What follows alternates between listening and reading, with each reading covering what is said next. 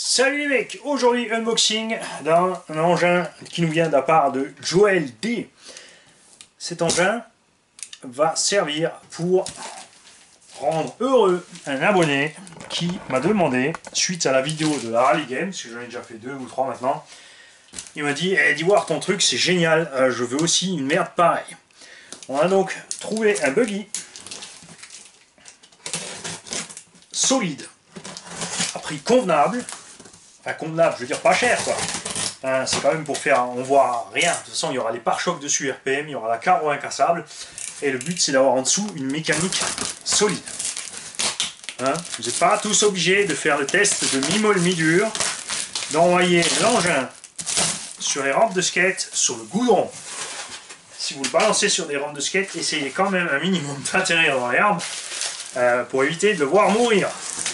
Parce que même s'il tient un moment, après un autre moment, c'est la mort. Nous avons donc ici un engin que j'adore.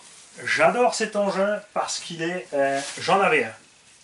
Et j'étais super content avec. À l'époque, j'avais fait une coque de Subaru pour aller dessus, pour aller en rally game. Parce que les, GT en elles-mêmes n'existaient pas encore comme on les connaît maintenant.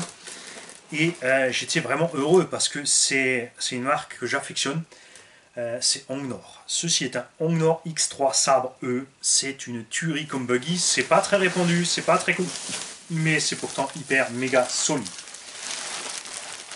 C'est avéré que le vendeur est un abonné. Parce que moi, quand je trouve des annonces, je ne dis pas que c'est RC Garage, machin, gna gna gna gna. Euh, je discute normalement avec la personne. on se met d'accord sur le prix. Et là, ensuite, bah, forcément, à un moment, tu balances ton mail. Et le mec dit Ouais, t'es con, pourquoi tu l'as pas dit? Il m'a donc envoyé du matos en plus pour euh, ce qui peut servir évidemment à d'autres personnes. Euh, pour compléter les machines et autres, on a des cerveaux arabes. Il a mis tout ce qui traînait chez lui qu'il n'a plus besoin. Et c'est vraiment super sympa. Euh, on a eu un bon prix.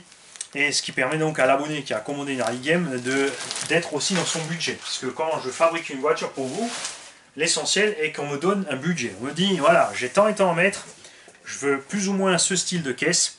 Ensuite, je vois ce qui est possible. Si on peut, on le fait en neuf. Si on peut pas, on le fait en occasion, c'est sûr. Après, il faut trouver une bonne occasion bien solide. Euh, c'est là qu'évidemment, il faut connaître plein de différents modèles. Et tout le monde est libre de chercher un modèle. Ensuite, on passe l'annonce, ou euh, sauf c'est moi qui l'ai trouvé d'abord. Et euh, on me dit, voilà, qu'est-ce que tu penses de celle-là? Je discute avec le vendeur, on voit ce qu'on peut faire. Et on s'arrange, on trouve tous notre bonheur. Avec ça, on a une petite commande Connect Goul RC. Mais celle-ci fonctionne. Il n'a pas de problème de potard ni rien. Tant mieux. On a reçu aussi en plus un petit chargeur Rob PowerPeak. Et on va checker tout de suite ce qu'il peut faire ce petit machin. Parce que ça, par exemple, j'en ai pas encore. Rob fait pas des trucs, euh, c'est aussi des trucs rebadgés, mais euh, enfin, ils font des, chargeurs un peu à part. Donc c'est bien un chargeur qui prend du lipo jusqu'à 4S. Tu choisis ici les milliampères. Par contre, es bloqué à 3000. Ça, c'est marrant. Tu es bloqué à 3000. C'est pas les milliampères, c'est la puissance de charge. 3 ampères. Il charge à 3000 mAh, donc tu peux charger à 3 ampères, une 4S. Tu as l'indication euh, quand chaque cellule est pleine. Rob, c'est du matériel fiable, ça faut leur laisser. Après, ils ont leur euh, propre. Euh, souvent, ils sont pas en JST, ils sont en, XH. justement, ils sont dans des autres connecteurs, donc ils ont leurs propres petits adaptateurs pour leur plaquette de charge. Méfiez-vous. Par contre, c'est vrai que c'est du super bon matos. Donc la pièce à rechange avec, et ça c'est important quand tu te fais un shrapnel de, de rallye. On a une carreau neuve, peinte simplement mais efficacement, neuve. Une deuxième qui a servi mais euh, qui n'est pas du tout en sale état.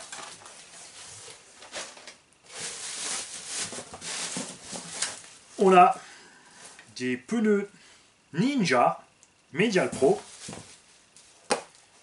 Une jante est cassée, ça le vendeur m'a prévenu. Il m'a dit écoute, au lieu de les jeter, je te les mets avec. Hein, quand même. Quelque part, peut-être, on a une quatrième. J'ai déjà les quatre en main. Euh, Annie, ça va plus. on a encore deux autres roues qui traînent par là, comme ça. Euh, ça, c'est des squares, des squares, je sais pas quoi, XP.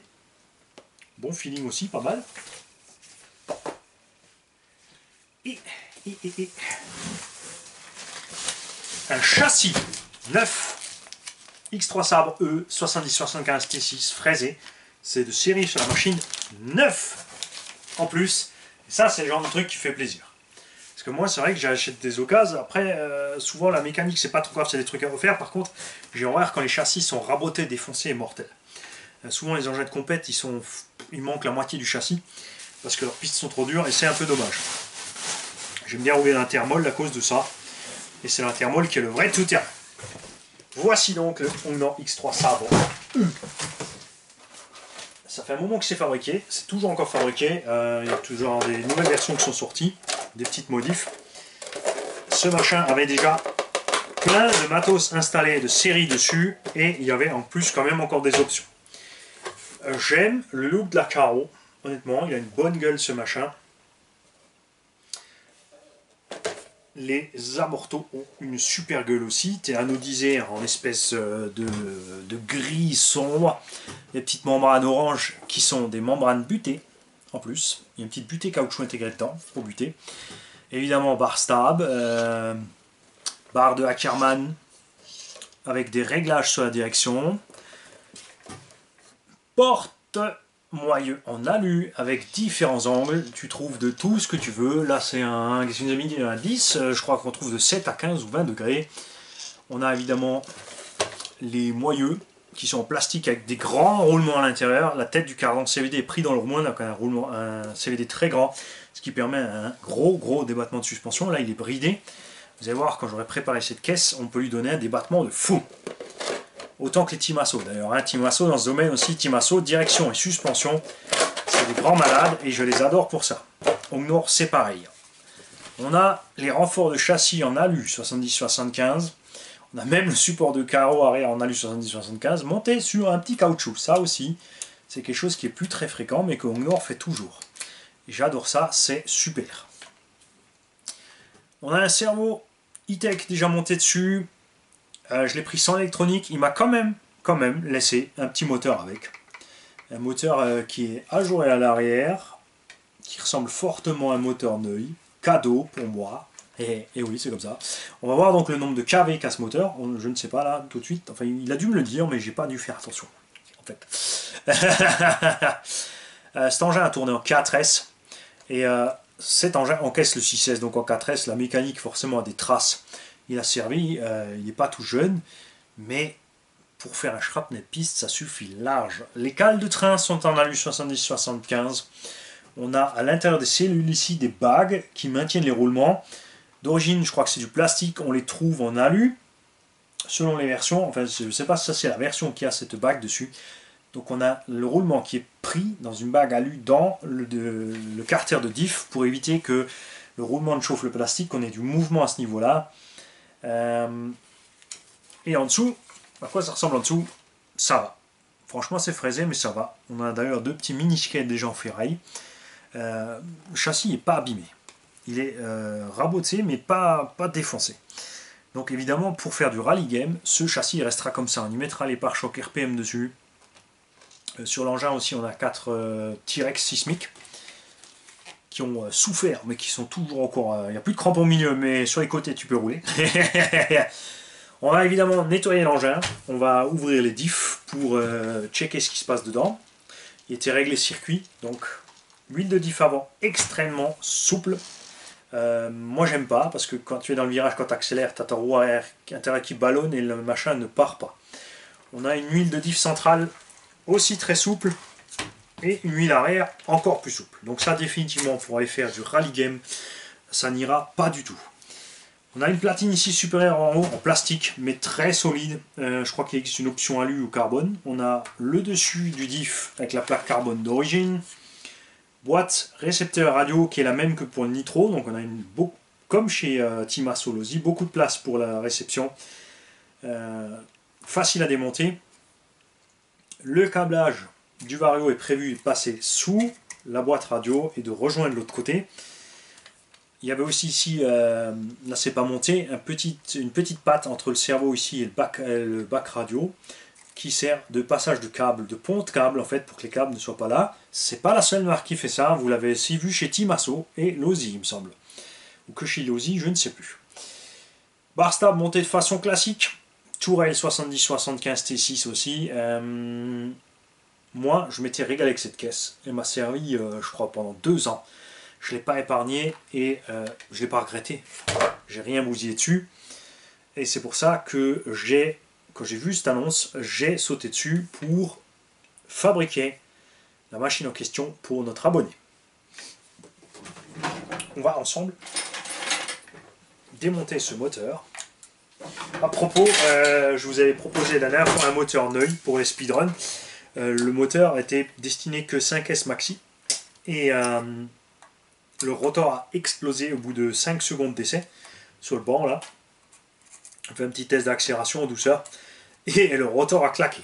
Je suis bien content que personne d'entre vous l'ait acheté et par un tout court aussi évidemment. ça leur aurait bien fait chier que quelqu'un achète le matos et surtout on panne après. Ceci est un 15-15, un delta. 1,5 delta. 1,5, ça veut dire pas beaucoup de tours. Nous allons donc voir sur le site Neu Motors euh, ce que fait ce moteur. Ces moteurs ne sont pas idéalement conçus pour le tout-terrain, ils n'aiment pas, euh, puisque tu as de grandes chances que la poussière passe dedans, ce sont des moteurs qui sont bien à l'aise sur des engins piste. Donc ça c'est un 15-15, ça veut dire que c'est un 42 par 74. Je crois que l'abonné m'avait dit que c'était en KV, mais je suis plus sûr. Non, c'est à 42,68 par contre. Oui, c'est oui, oui, c'est le. Ce serait 15,17 le 74. Donc on a un moteur en 68. Et en 1,5 delta, on doit pencher dans les 2400 kV les brouettes. Savoir ça. Donc maxi 4S pour ce petit moteur. Ça aussi, on va l'ouvrir, le démonter, le nettoyer. Et euh, le faire fonctionner. Hein, ce pauvre petit moteur neuil quand même. servira sur un engin qui euh, nécessitera moins de patata, puisque euh, l'abonné, il veut un peu de pêche, tu vois, il faut du lourd. Et vraiment, ce qui est génial, comme dit, c'est ce que j'aime bien quand tu achètes des occasions pas chères, t'es pas déçu. Tu sais que c'est pas cher, tu connais l'état, le vendeur était clair, il m'a dit écoute, voilà, j'ai j'ai des empreintes, j'ai des ci, j'ai ça, j'ai bouffé ci, j'ai raflé là, mais il a quand même un paquet de pièces en plus avec et c'est ça, c'est pratique.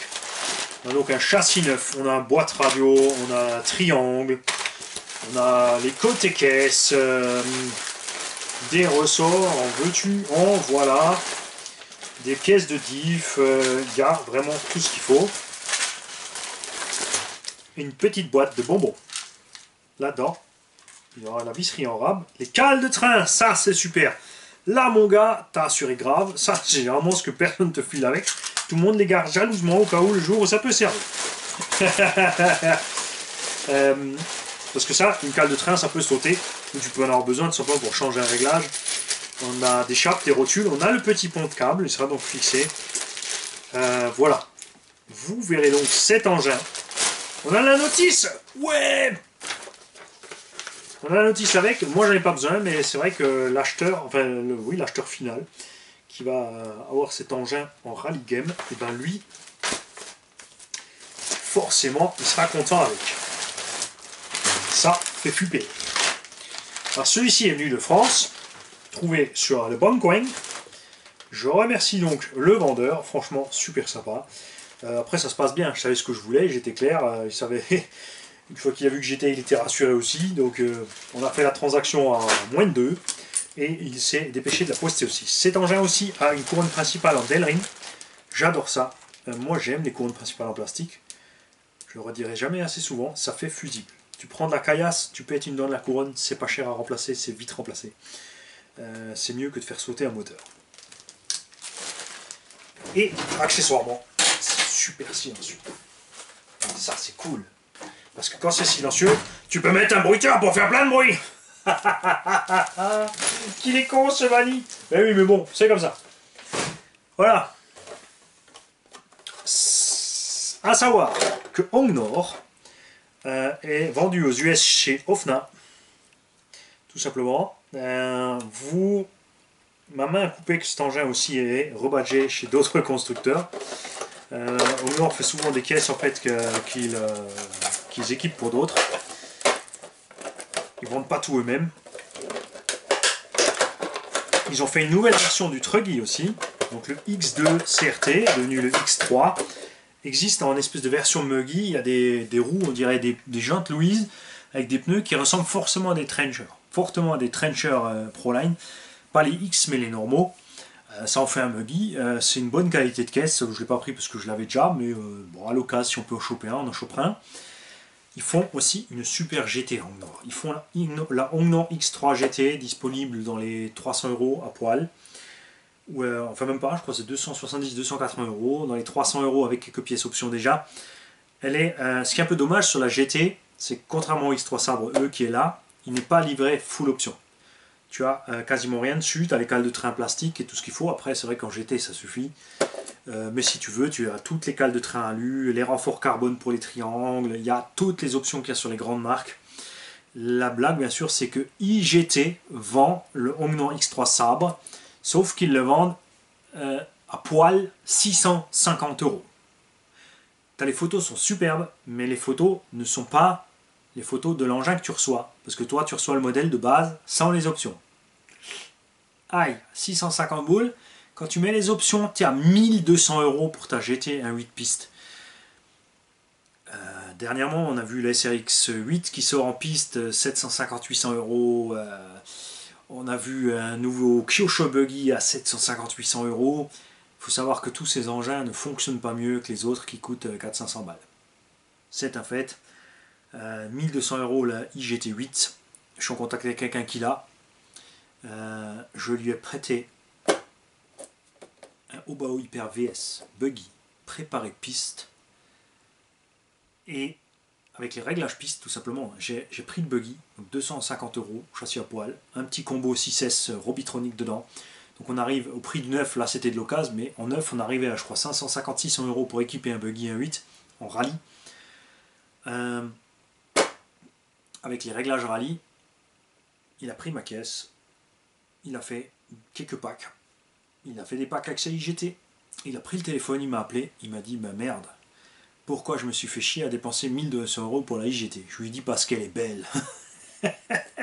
Et c'est la seule raison, c'est juste que c'est pour regarder, mais à, réglage égal, la plupart des caisses sont équivalentes. Après, une différence dans la durée du temps du matériel, la tenue du matériel, euh, dans le prix des pièces de rechange, etc., le prix de départ, mais il y a vraiment des choses, moi, qui me font mal en RC. Quand tu vois que tu peux faire une caisse pour 400 euh, euros, qui tourne aussi bien qu'une caisse à 800 balles ou 1200 balles, ça fait mal.